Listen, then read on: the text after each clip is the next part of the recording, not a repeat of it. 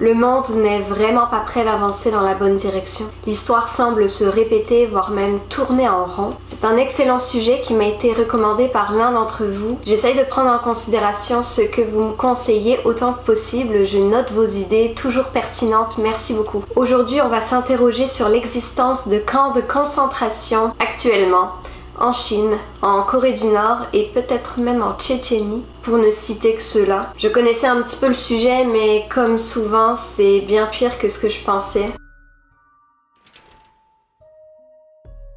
On peut définir un camp de concentration par le fait de regrouper, de détenir un groupe, une population considérée comme une population ennemie dans un même endroit, très grand en général. Ce groupe est prisonnier sans mise en examen, sans procès équitable et ces gens sont détenus en général dans des conditions assez extrêmes. Ça peut être euh, des opposants politiques, ça peut être des personnes d'une même religion, d'une même ethnie, des personnes non souhaitées dans le pays dans lequel elles se trouvent à ce moment-là, des personnes gênantes pour le pouvoir en cours à l'époque des camps nazis, plusieurs camps de concentration étaient en fait des camps d'extermination, ce qui n'est pas exactement la même chose. Dans les camps de concentration, on a essentiellement du travail forcé, de la malnutrition, de la torture physique. Donc, par ces faits-là, ben, les gens finissent par mourir tout simplement, alors que dans les camps d'extermination, les gens ils sont amenés pour être tués dans ce seul et unique but-là. En général, ils sont tués dès leur arrivée dans le camp. Bon, je schématise. Hein.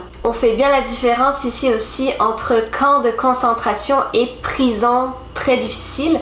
On sait qu'il y a des prisons très difficiles euh, à peu près partout dans le monde où euh, c'est vraiment l'enfer. Les prisonniers sont extrêmement maltraités et dans des conditions déplorables. Sauf que ces prisonniers-là ont commis de vrais crimes, que ce soit des agressions sexuelles, des meurtres, peu importe. Et ces prisonniers-là ont eu droit à un procès. Ils font juste purger leur peine finalement, ce qui n'est pas le cas dans les camps de concentration. Rendez-vous à l'extrême ouest de la Chine, dans le territoire autonome de Xinjiang, juste au-dessus du Tibet, où vivent plusieurs groupes ethniques dont les Ouïghours. Ce sont des turcophones musulmans et ils sont majoritaires dans cette région-là. Ils sont environ 8 millions aujourd'hui euh, sur ces terres montagneuses et désertiques. Mais c'est un peuple euh, qui ne se sent absolument pas chinois. D'ailleurs, ils leur ressemblent pas vraiment. Les Ouïghours veulent euh, leur indépendance depuis longtemps parce qu'ils ont leurs propres coutumes, leur propre langue, leur propre euh, mode de vie, leur propre système politique, leur propre histoire finalement. Mais Pékin, petit à petit, impose sa façon de vivre aux Ouïghours. Ça m'a fait un petit peu penser au Québec et aux Québécois qui disent souvent qu'ils n'ont absolument rien à voir avec le reste du Canada. En plus, ils sont à peu près le même nombre que sont les Québécois. Bref, parenthèse fermée. C'est la guerre avec euh, Pékin et le reste de la Chine, mais la Chine ne veut pas s'en séparer parce que Xinjiang est la plus vaste des régions chinoises. Elle fait comme trois fois la France. C'est une région avec beaucoup de richesses, comme par exemple ils ont la plus grande réserve chinoise de pétrole, de gaz, de charbon, mais aussi cette région au nom imprononçable est à un endroit assez stratégique proche de l'Asie centrale, proche de l'Europe, c'est sûr que les Chinois voudraient se l'approprier totalement. Alors les Ouïghours ont comme une fausse autonomie, ils sont surveillés par le gouvernement chinois en permanence, fait que le Xinjiang est maintenant un état policier totalitaire. C'est l'un des endroits les plus contrôlés au monde aujourd'hui. En octobre 2018, donc il y a juste quelques mois, la Chine a reconnu officiellement l'existence de camps de rééducation au Xinjiang mais c'est en 2014 qu'ils auraient été construits. En gros, elle a dit qu'il s'agissait de centres de formation professionnelle, donc des écoles, qui auraient pour but de lutter contre le terrorisme et contre l'extrémisme musulman. Donc à la télévision chinoise, on voit des belles images de propagande, des étudiants ouïghours en train d'apprendre le chinois, en train d'apprendre des métiers en lien avec le textile ou l'alimentation. Mais qu'est-ce qu'il en est vraiment? Ma mère a été arrêtée le 29 janvier 2017 à l'aéroport et elle a été libérée sous caution et mise dans un camp de rééducation le 9 juin 2017. On sait que ces camps que la Chine appelle de rééducation s'apparentent vraiment aux camps de concentration nazis. Les gens sont, sont dans des conditions vraiment inhumaines. Il n'y a pas assez de lits euh, dans la chambre, donc du coup ils sont en train de, enfin ils sont obligés de, de dormir à tour de rôle. Il y a aussi beaucoup de gens qui sont malades. Les maladies peuvent s'aggraver et euh, quand c'est le cas, les corps sont rendus, euh, enfin les Je dis ça des corps parce que quand ces, individus-là sont rendus à leur famille, euh, il leur reste vraiment 2-3 jours à vivre. On sait que jusqu'à 2013, la Chine a utilisé des systèmes pénaux très sévères avec pour justification que c'était pour rééduquer les prisonniers. Mais dans ce cas-ci, ce serait environ un million de Ouïghours qui seraient enfermés. Alors je dis un million, mais les chiffres changent selon les sites sur lesquels je suis allée. Je pense que le chiffre 1 million, ce serait un million depuis 2014, sachant ceux qui sont partis, ceux qui sont morts, etc. Donc ils sont prisonniers, pas parce qu'ils ont commis un crime, mais parce qu'ils sont musulmans. Ces gens-là sont nés au Xinjiang, ils ont toujours été là depuis des lustres, leurs ancêtres, etc. Mais aujourd'hui, ils semblent déranger le reste de la Chine. Quand je parle du reste de la Chine, je parle bien sûr du gouvernement, on veut les rééduquer, les remodeler pour qu'ils soient comme les autres Chinois, pour les faire oublier qui ils sont finalement. C'est pas juste leur religion qu'on veut leur faire oublier, mais bien toutes leurs coutumes, tout ce qui fait qu'ils sont ce qu'ils sont, toute leur culture, leur langue, etc. Et on le devine pour que Pékin puisse euh, s'emparer de toutes les richesses de cette région-là. À partir du moment où ces gens, les Ouïghours, respectent leurs coutumes locales, leur religion chez eux, c'est considéré comme un acte extrémiste, un signe de radicalisation et ils peuvent être enfermés pour ça, sans limite de durée. Alors il y a comme une longue liste débile de choses qui sont considérées comme des infractions pour eux, comme par exemple ne pas boire d'alcool ou fumer, utiliser l'application WhatsApp, parler à quelqu'un qui a déjà voyagé à l'étranger, refuser d'écouter la radio d'État ou encore ma préférée, ne pas régler sa montre au fuseau horaire de Pékin. Donc tout ça et bien d'autres, c'est susceptible d'envoyer un Ouïghour derrière les barreaux. On leur inculque l'idéologie communiste, on les force à manger du porc, à boire de l'alcool. Donc on est d'accord, ça n'a absolument rien à voir avec des écoles. C'est de l'endoctrinement pur et dur. Ces gens-là sont bel et bien enfermés avec des barreaux à leurs fenêtres, des caméras de surveillance. Euh, sur les murs, on peut voir des slogans comme euh, Prenez l'habitude d'apprendre le mandarin ou bien encore euh, Suivez les conseils de Xi Jinping, donc le président, sur le socialisme avec les caractéristiques chinoises. Donc ça, ce que vous voyez, c'est la vidéo de Better Winter qui est un magazine en ligne qui défend notamment les droits de l'homme en Chine. Donc on devine que c'est filmé discrètement à partir d'un téléphone. Vous allez pouvoir avoir euh, la vidéo complète en barre de description comme d'habitude. On a un témoignage de Omurbek Eli qui lui euh, aurait été libéré au bout de 8 mois, donc le 4 novembre 2017. Il aurait été libéré à condition de ne pas porter plainte euh, pour tout ce qu'il a subi. Donc ça c'est une photo avant sa détention et ça, c'est sa photo après la détention. Il a perdu 40 kilos. Il dit avoir maintenant des problèmes de santé euh, assez importants et bien sûr des troubles psychologiques évidents qu'on imagine irrémédiables. Donc lui, il raconte avoir été enfermé dans un sac noir on lui aurait fait une vivisection. Donc pour rappel, la vivisection, c'est une opération très cruelle qu'on fait aux animaux pendant qu'ils sont encore vivants. On les découpe pour avoir accès à leurs organes et ainsi pouvoir faire des opérations ou plutôt des expériences scientifiques. Il aurait aussi été maintenu enchaîné, ses bras, ses jambes nus pendant plusieurs mois. Vous irez voir euh, l'article au complet que je vous mettrai aussi dans la barre de description. Par contre, dans un autre article de Libération, ils disent que sa détention aurait duré 20 jours. Ah, les médias faut en prendre et faut en laisser. Hein. Mais l'article de Libération, je vous le mets aussi en barre de description parce que je le trouve quand même intéressant. Si ça vous dit d'aller le lire, ça donne un petit peu plus d'informations. Fait que là, on retrouve bel et bien la définition du camp de concentration. Le fait d'être prisonnier sans inculpation et sans procès équitable déjà. Le groupe d'une même religion qui dérange le pouvoir. C'est vraiment ça, là. Et il y a aussi euh, sûrement beaucoup de choses qui s'y passent qu'on ne sait pas et qu'on ne saura jamais.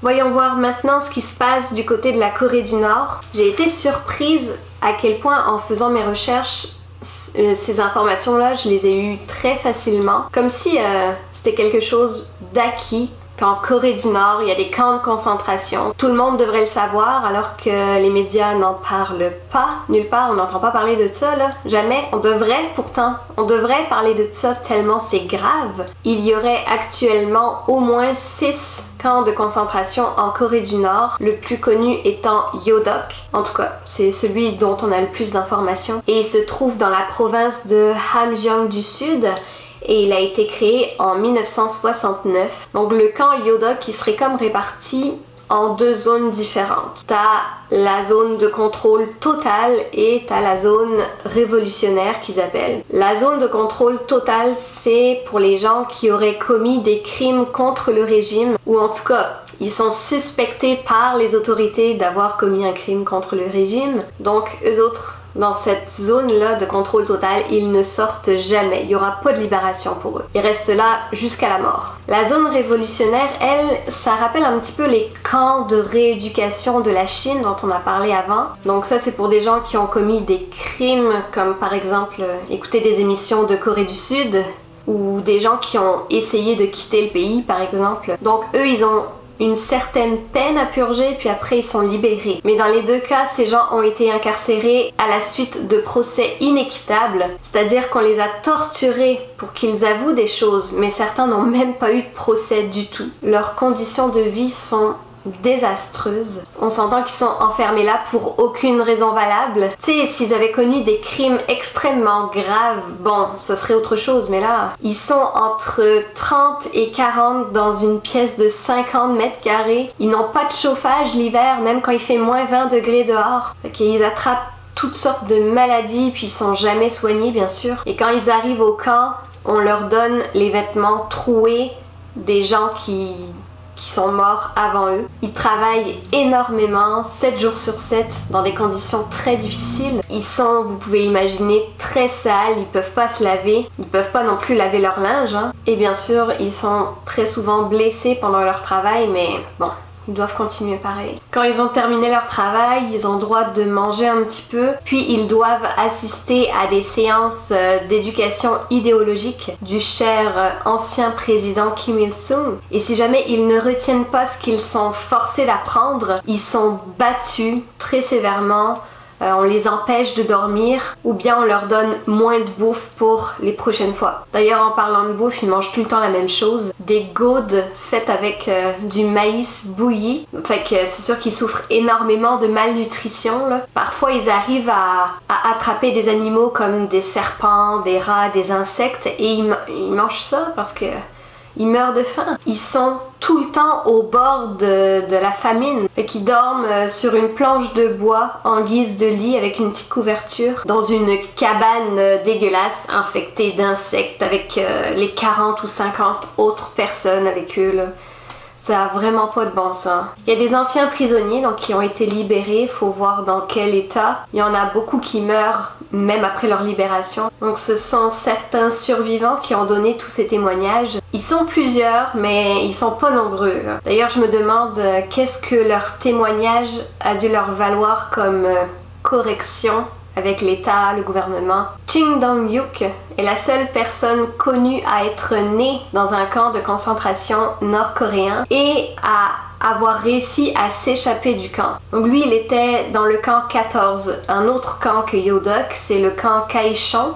Kaishon et il disait que dans ce type de camp, t'es obligé de balancer les autres. Dans le sens que si tu ne dénonces pas les autres, ils vont te tuer toi rapidement. Donc lui, à l'âge de 13 ans, il a dénoncé sa mère et son frère qui avaient un plan pour euh, essayer de s'évader du camp 14. Donc eux autres aussi étaient emprisonnés avec lui. Donc sa mère et son frère ont été exécutés devant lui et apparemment que ça lui aurait fait ni chaud ni froid. Tu sais, il avait jamais connu l'amour ou toute autre chose à l'extérieur du camp puisqu'il y était né. C'est terrible, pareil. Il y a un livre euh, qui est sorti euh, à propos de sa vie. Il s'appelle euh, Rescapé du camp 14. Il y a certains autres rescapés qui ont fait des dessins assez spéciaux. Par exemple, celui-là où il est écrit pour une personne de taille moyenne, donc environ 1m70, s'il pèse 42 kg, il est considéré de corpulence correcte,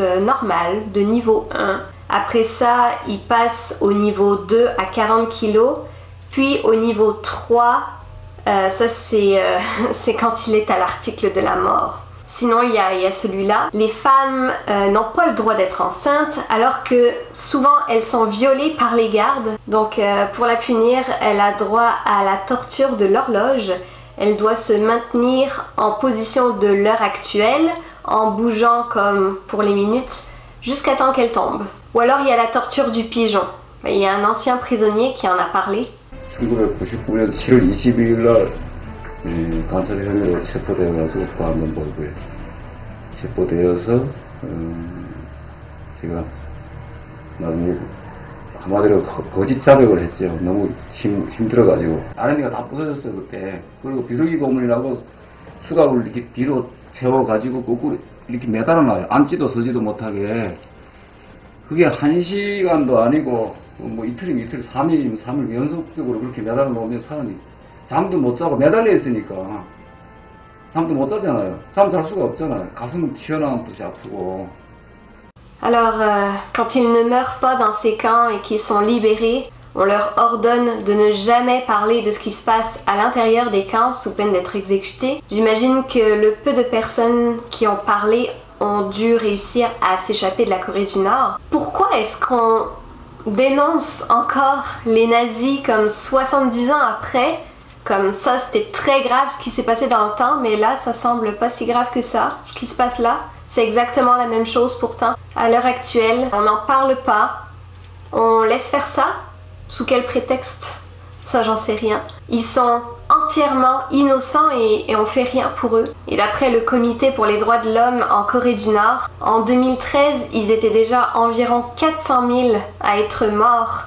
Euh, morts de faim, morts de torture ou de maladie, ou en tout cas euh, suite à tout ce qu'ils ont subi, ou encore s'ils ont été exécutés. Comme je le disais, toutes ces informations sont très faciles à trouver. Est-ce que tout est vrai Ça, je sais pas. Est-ce qu'il y a un peu de propagande là-dedans? Faut essayer de garder la tête froide. Allez vous renseigner, comme je le dis toujours, et faites-vous votre propre opinion à propos de tout ça. On peut aussi s'interroger sur ces fameuses prisons pour homosexuels en Tchétchénie. Bon, il y a peu de preuves, hein, il y a peu de témoignages, mais effectivement, ça m'a tout l'air de camp de concentration. Ils m'ont arrêté chez moi. Je ne m'y attendais absolument pas. Je menais une vie tout ce qu'il y a de plus ordinaire. Ils ont commencé à me battre avec les poings, les pieds, des chocs électriques. Ils m'ont insulté et disaient que les gens comme moi ne devraient pas avoir le droit de vivre et qu'il fallait tous nous tuer. Toutes ces personnes ont été torturées et emprisonnées non pas parce qu'elles ont commis un crime, mais parce qu'elles sont homosexuelles.